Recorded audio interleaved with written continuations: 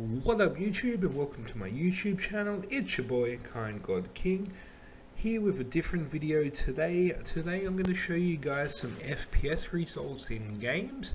Um, now the first game I'm going to be showing you guys is Rainbow Six Siege which I've been playing a lot of as you can tell by my videos.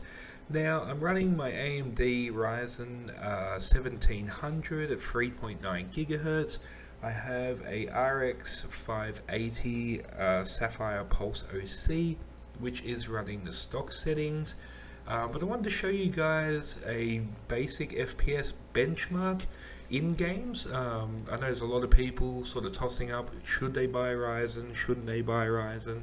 Is it really bad for games like people are saying? I don't think it is. Um, I think it runs quite well.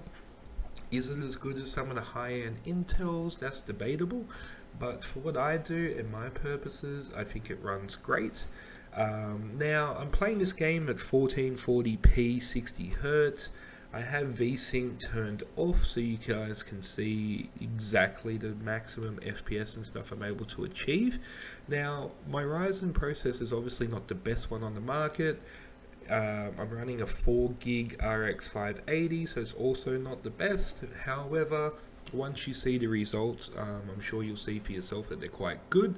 Okay, so the benchmark started, as you can see in the top right hand corner, in the green numbers, that's my frames per second. So I'm sitting above 80, which in my opinion is more than enough for gaming, and actually that's quite good anything below the 60 mark, you know, it's a little bit difficult to play, um, but I don't see it dropping that low. My minimum FPS at the moment, as you can see, sitting around the 70 mark.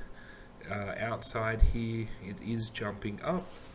So, playing a game like this with the graphics on Ultra, 1440p, 60 hertz, you know, averaging around the 80s in FPS is definitely good in my opinion.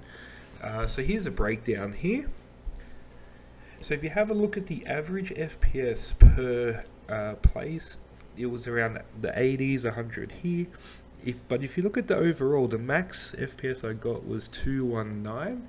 The average that I got throughout all the tests was 97.5, which is amazing and the minimum 61.4 now I didn't see it myself drop that low in some points it might have been during the explosions and stuff that it dropped but definitely playable at 1440p um, and yeah decent you won't have any dramas with that there won't be any sort of noticeable graphical lag or anything so that's the siege test done now what I'm gonna do is I'm just going to use my Uplay games basically. So that was um, Siege.